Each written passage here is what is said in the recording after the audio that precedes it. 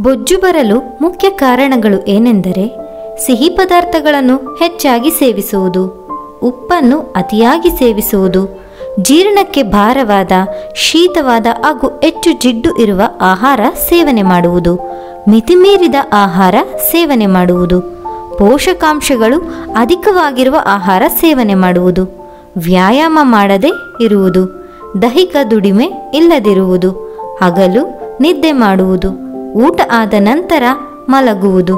Junk food, oil food ಹೆಚ್ಚಾಗಿ ತಿನ್ನುವುದು. ಕೇಳಿದ್ದಕ್ಕಾಗಿ ಧನ್ಯವಾದಗಳು. ಮತ್ತಷ್ಟು ಮಾಹಿತಿಗಳೊಂದಿಗೆ ಮತ್ತೆ ಭೇಟಿಯಾಗೋಣ.